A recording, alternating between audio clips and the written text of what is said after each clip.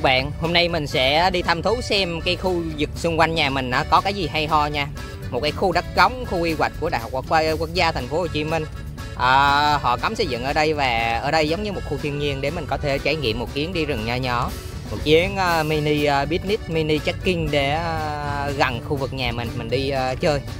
Đây là cái bình tông nước mình uh, mới sắm được nữa các bạn bình tông này của quân đội nó có hai chức năng là dùng để đựng nước uống và bên dưới nó có một cái ờ, này nó bằng nhôm. Có thể dùng bạn để rót nước uống hoặc là hứng nước ở trong các con suối á, hứng rồi chế vào trong cái bình tông này. Hoặc cái này bạn có thể dùng để nấu nước uống để chế một cái uh, ly cà phê uống một cái lách trà uống hoặc là nấu một gói mì tôm ăn rất là tiện lợi. Dùng cái, cái khay nhôm này để nấu nha còn này là dụng cụ để, mình à, chứa nước. Đây là cái bình tông, là nhân vật chính để chứa nước. Thì à, nó sẽ gắn được vào trong này. Gắn vào trong cái à, cái khay nhôm này. Và nó có hai nắp. Hai nắp, cái nắp này thì mình đem ờ, nước uống lớn bình thường. Và trên này thì có một cái nắp nhỏ này. Có thể vặn ra và uống giống như các vận động viên đi xe đạp nha. Này thì có cái cái dây để chống rơi cái nắp. Bên trên bên trên thân bình thì nó có ghi là bình đựng nước uống. À, uh, Dreamwatcher Boss uh, Factory Việt Nam với dung tích là một lít. Bên dưới thì nó được cấu tạo bằng nhựa HDPE các bạn nhìn đây đây là bình tông chúng của quân nhu của bộ đội uống. Và cấp phát cho bộ đội bộ đội làm cái uh, dụng cụ để um, giữ nước uh, khi mang theo trong người và mang theo đi uh, hoạt động bên ngoài. Và bên uh, bên cạnh đó thì có một cái uh, cái rửa này thì mình à, mới à, mang từ à, gửi từ ngoài quê vào thì mình đặt hàng cho người ta. Dùng thép một cái loại thép mà mình cảm nhận nó sử dụng làm rửa làm dao rất là tốt thì mình đặt hàng cho anh thợ rèn. Anh rèn theo ý muốn của mình đó là cái mũi của cái rửa này nó cong hơn bình thường nè. Mình đi rừng thì có những cái điểm dốc cao mình không thể với tay đến những cái uh, cây hay là cái gốc cây uh, cái uh, dây leo để mình uh, làm cái cái cái cái nơi tựa vào để mình kéo uh, người lên leo lên trên dốc ấy, thì mình sẽ dùng cái rửa này dùng cái máu mà cong nhiều hơn này thì mình móc vào cái thân cây trên mầm trên cao nào đó. Rồi mình à, sẽ dùng lực mình kéo cái rửa này thì mình uh, dùng uh, để leo lên cái dốc. Con dốc đó nó một cách dễ dàng hơn nha. Khi mà đi rừng đặc biệt là những cái khu rừng mà già những lúc mà mình đi tìm ong á, thì cái rửa mà có cái máu cong này nè rất là hữu ích. Các bạn thấy nó dài cái cán nó dài hơn bình thường một tí này nha đó rồi à, mà bên cạnh đó thì à, cái bình tông mình giới thiệu thêm một tí nữa.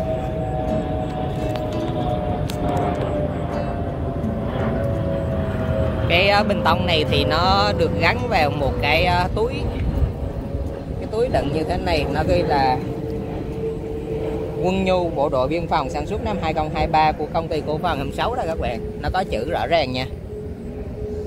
Đó cái túi này thì dùng để đựng cái bình tông vào. Bỏ vào gài hai cái nút lại. Hai cái nút bằng à, chắc bằng inox hay bằng sắt gì đó là rất là chắc chắn.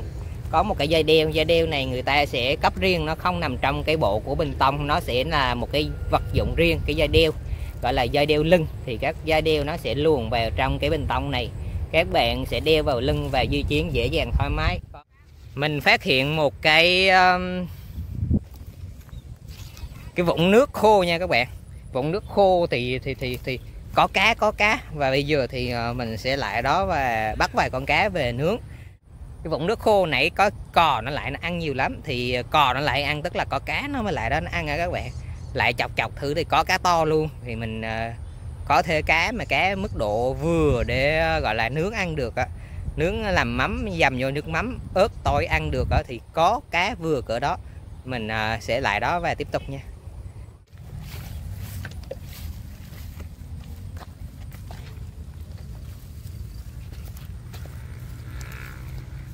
Đây là cái vũng nước có cá cá cá đây các bạn. Hồi nãy là cò này các bạn có thấy dấu vết không? Những cái con cò nó ăn ở đây nó bắt cá ở đây bắt uh, ốc bắt uh, nhái ở đây thì nó, nó để lại dấu chân á.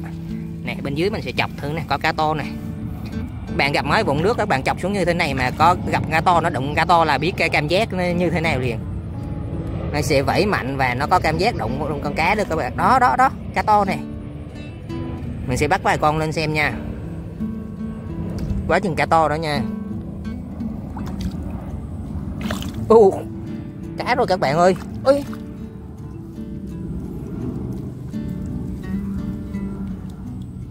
Mình không có cái chân quay nè. Nó có một tay thôi. Mình sẽ quậy quậy cho nó nó đừ một lát xong rồi mình bắt sau còn được. Không sao hết á. Đây. Ấy ô cạch cái rô to quá.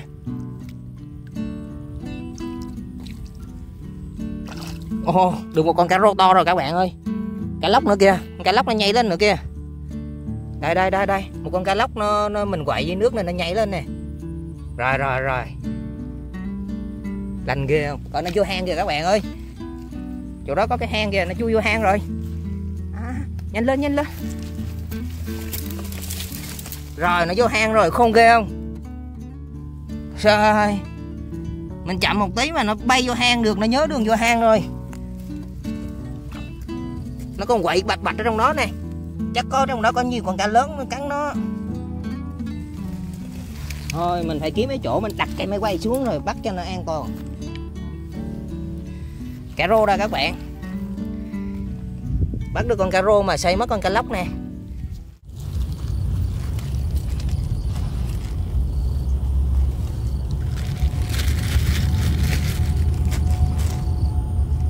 Mình à, sẽ tiếp tục cách bắt cá nữa nha các bạn.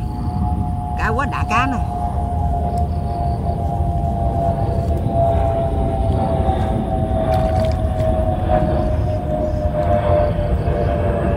rồi một con cá rô hai con cá rô nữa.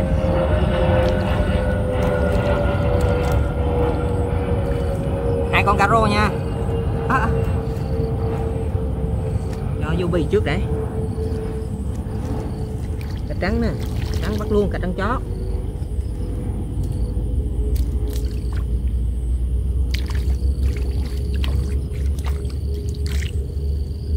Ừ, ừ, nhảy quá.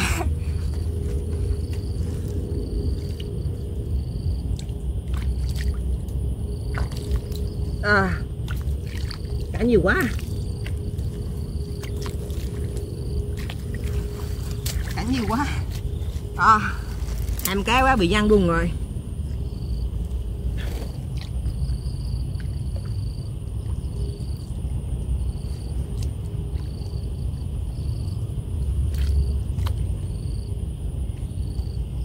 Cái này cá sặc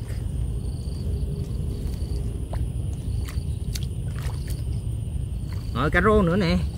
Còn cá rô đồng không à?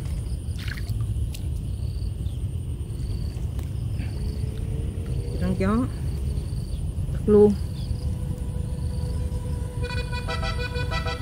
Rồi cà rô nè.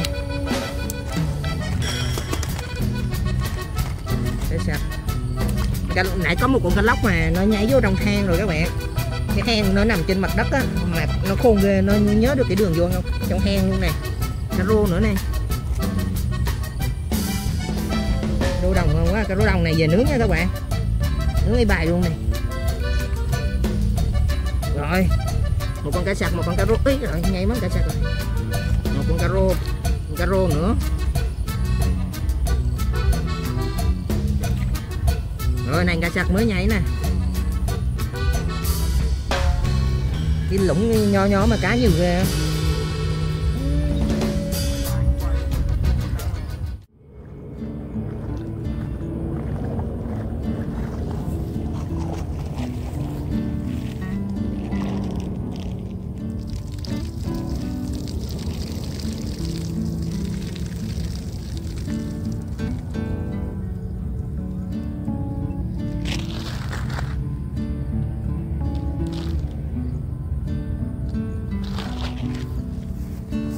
tổng là mình được một bì cá như thế này nha.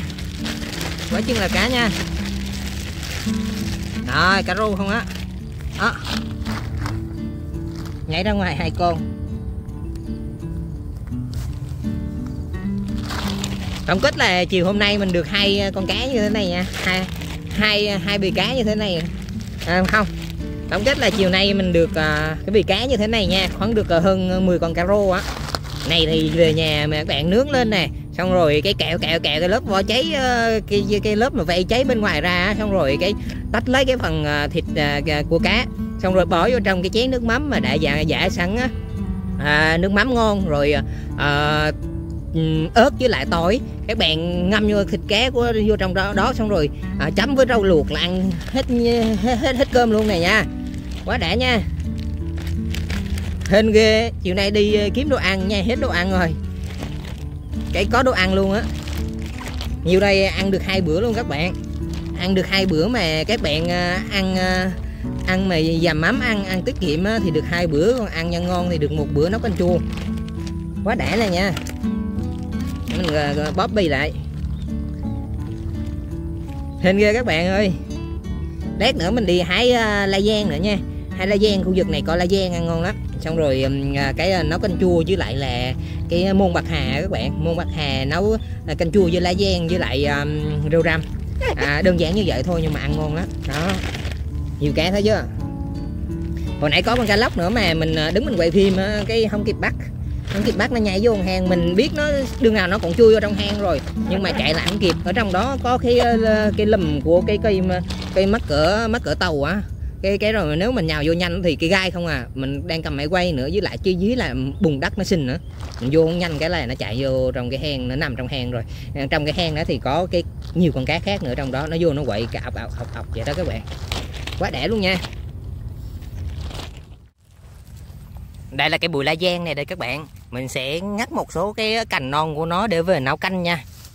Đó, đây là cái la giang đây cái lá này thì nó có vị chua chuyên để nấu canh chua hoặc là các bạn xào chua xào các món như là ốc á ốc ốc đồng hoặc là ốc đá ốc ở, ở trên uh, núi á. Các bạn uh, xào với cái lá giang này ăn rất là ngon. Hoặc là các bạn đã nghe nói đến cái món mà gà nấu lá giang á. Gà nấu lá giang thì người ta sẽ lấy gà ờ, gà tre gà chí à, những cái con gà mà uh, thịt nó dai dai á nấu với lại uh, cái uh, nước cua lá giang này, lá giang này người ta sẽ nấu nước dùng các bạn. Thì ờ, nó rất là ngon, nó rất là hợp luôn. Lá giang thì ờ, đó là món gà nấu lá giang, còn lá giang nó có thể nấu với nhiều cái món khác nữa. Bạn ờ, nấu với thịt heo cũng được, đặc biệt là với thịt bò. Lá giang nó cũng rất rất là ngon luôn đó. Lá giang này thì tuy là nấu nước dùng thì ngon nhưng mà mình lại không thích ăn cái lá. Cái lá của nó các bạn có thể gói với lại một cái cuốn lại á cuốn nó lại bên trong là một miếng muối ờ, ớt. Thì các bạn ăn giống như là ăn trầu. Ngày xưa ờ, mình chơi đồ chơi thì mình làm cái món ờ, đồ chơi nó là ăn trầu á các bạn. Giống như các cụ ăn cái lá trầu thì mình ăn cái lá giang này. Lá trầu thì ăn nó, nó, nó cay. Còn cái lá giang này thì ăn nó chua nó chua lè chỉ lòm luôn.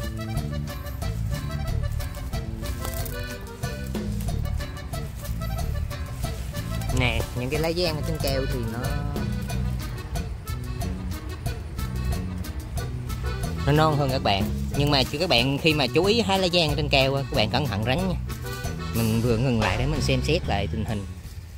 Rồi mình ờ, mới mới mới mới thực hiện việc hái sau. Rắn nó thích ở trong cái lùm này, nó ngủ trong đó. Những con rắn ăn đêm thì ban ngày nó ngủ và rắn ờ, rắn ăn ngày thì ban ngày nó đi ăn rồi, ban tối là nó ngủ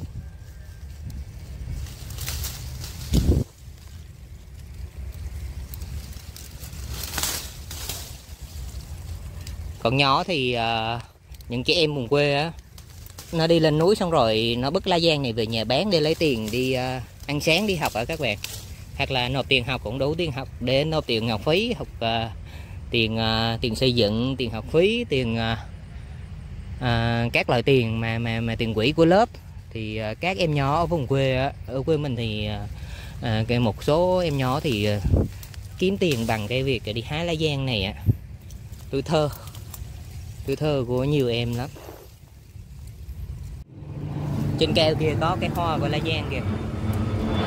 Đó, hoa của nó đó các bạn. Hoa đó thì các bạn có thể ờ, ăn được, nó rất là giòn và chua. Giòn giòn, chua chua, ăn ngon. Bên cạnh đó thì cái la giang là có trái nữa. Cái trái nó dài giống như là trái của mai chú thí vậy đó. Trái nó dài và thòng xuống. Khi mà khô thì nó nó, nó chuyển thành cái màu khô màu của cây khô á, và nó nứt ra. Nứt ra thì bên trong nó giải phóng các cái hạt có cái, ờ, cái lông bay thì nó phát tán theo gió và nó nhân giống để phát triển đi ờ, cái giống nồi của lá giang sang những cái vị trí khác xa hơn là nhờ vào gió nha các bạn. À, cái trái giang thì mà nó có lúc còn non thì mình ăn rất ngon ờ, ăn nó giòn mà nó chua. À, nó chấm với lại muối ớt. Giòn chua về nó là một cái món ăn mà dân dã. Khi mà cái thời thanh thời thiếu niên thời nhỏ tuổi tuổi thơ á à, các bạn nhỏ khi mà đi chăn bò thì à, hái những trái đó để làm thức ăn à, cho vui à, cho vui à, trong lúc mà chăn bò á. Có cái trái gì ở trên rừng hái ăn cũng vui hết các bạn. Chim chim vũ dế sim ổi rồi à, chả là trăm à, các loại trái cây ở trên rừng đó thì dường như là mình mua nào thì cái loại trái cây đó và đặc biệt là vào sau mùa xuân, tức là mùa hè, đầu hè thì trái cây nó chín nhiều, trái cây rừng nó chín nhiều. Đó. Mùa xuân thì nó ra hoa và mùa ra hoa kết trái và mùa hè thì nó chín nó chín à, các loài chim thì nó cũng căn cứ vào cái à, đặc điểm đó của, thời tiết đó của các cái loài cây à, thì nó nó sinh sáng nó sinh sáng vào cái mùa mà có nhiều thức ăn, tức là mùa hè thì nó sẽ nở con con ra.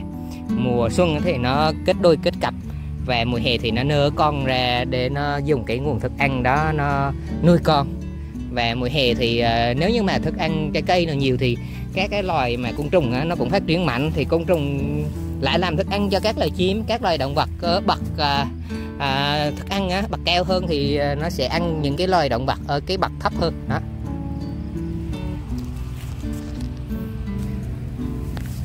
Rồi à, kết thúc cái buổi à, đi rừng hôm nay thì vào một buổi chiều khoảng cỡ 5 giờ chiều rồi mình chuẩn bị về nhà để nấu cơm chiều.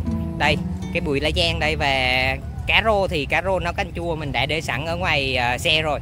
Đây là lá giang để nấu canh chua mình có hái thêm những cái à, cái đây là là dây lạc tiên tức là cái dây chùm bao đó các bạn. Cái đó thì à, ăn rất là ngu ngon, ngu ngon luôn.